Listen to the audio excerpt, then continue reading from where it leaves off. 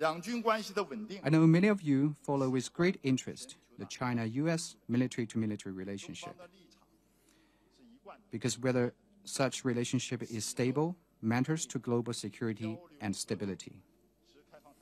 China's position is consistent and clear. We stay open to exchanges and cooperation with the US military. But this requires efforts from both sides. As we see it, it is because the two militaries have differences that there is a greater need for communication. Even though we have different development paths, we should not pursue confrontation with each other. The Chinese and U.S. militaries should value peace, uphold stability, act in good faith, and find the right way to get along with each other. This will instill more confidence in the world and our region.